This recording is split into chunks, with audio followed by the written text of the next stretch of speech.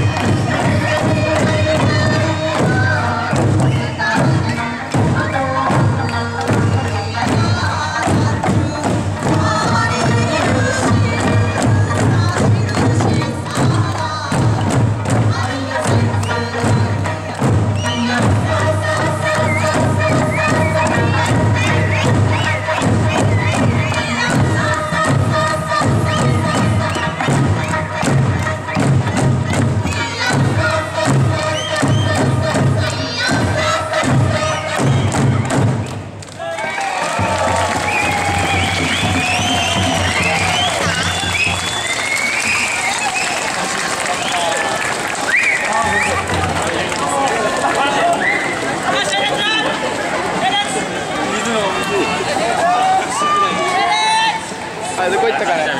あ、近い。